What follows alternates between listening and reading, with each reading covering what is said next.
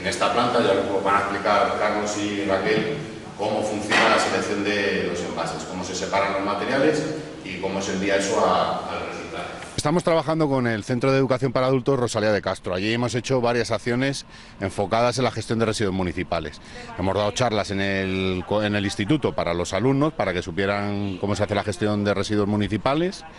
y también hemos hecho talleres de cocina sin desperdicio. Y ya para completar las acciones hemos venido a la planta de selección de envases para que vean que detrás del contenedor amarillo pues hay otro proceso que es seleccionar los materiales para mandarlos al reciclaje. Creemos que echar una bolsa en un contenedor ya se soluciona,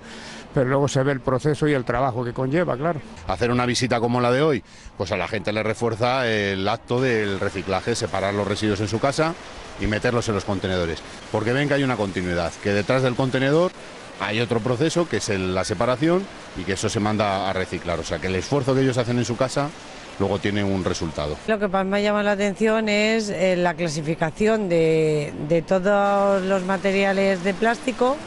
y la rapidez con que lo hacen, que lo hacen en 12 minutos desde que entra el material hasta que ya lo tienen clasificado, tarda 12 minutos. La clasificación,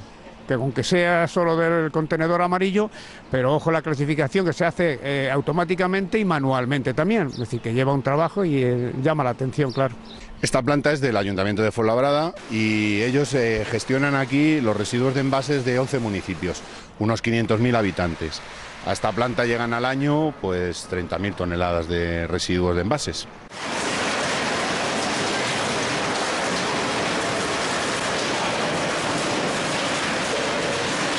Es una tecnología, yo creo, punta, que selecciona los,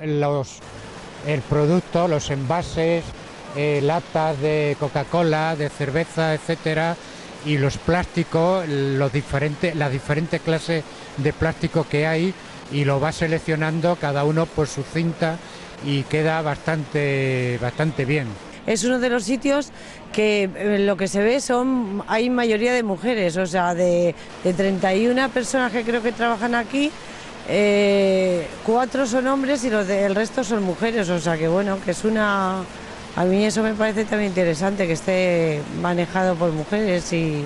y la, creo que la encargada general es también una mujer. También agradecer al Ayuntamiento de Fuenlabrada el que haya participado en esta visita, a los técnicos del área de sostenibilidad